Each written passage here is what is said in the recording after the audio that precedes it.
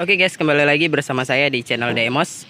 Kali ini saya akan memberikan tutorial atau cara untuk mengatasi kebocoran pada sambungan atap di bagian sudut ya antara atap, sengnya dan dinding bangunan.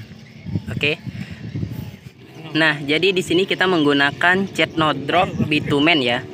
Nah, di sini kita dibantu dengan serat kasa fiber untuk melapisinya. Ini serat kasa fibernya. Dan untuk pengaplikasiannya itu seperti ini ya.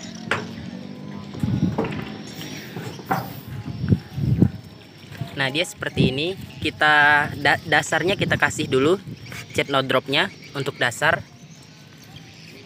Untuk dasar kita kasih dulu cat no drop baru di atas cat no dropnya kita taruh serat kasa fibernya setelah kita taruh serat kasa fiber baru kita oleskan lagi cat no dropnya seperti ini. Dengan cara ditekan-tekan ya agar cat no dropnya itu mengisi di bagian sela-sela serat kasa fibernya. Nah dan untuk hasilnya yang sudah kering atau sudah jadi itu seperti ini. Di sini teman-teman bisa perhatikan secara detail atau secara dekat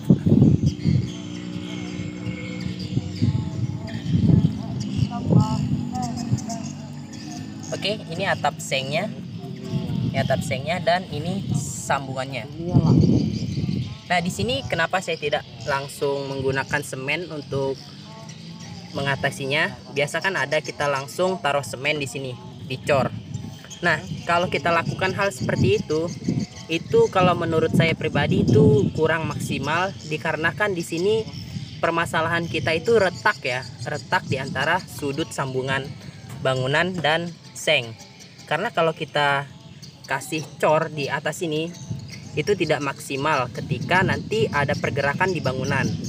Nah, tetapi jika kita menggunakan serat kasa fiber dan cat no drop untuk pelapisnya, meskipun bangunannya itu bergerak untuk kebocoran itu tipis harapannya karena di sini masih ada serat yang elastis dan cat no drop yang elastis ketika terjadinya gerakan nah jadi seperti itu ya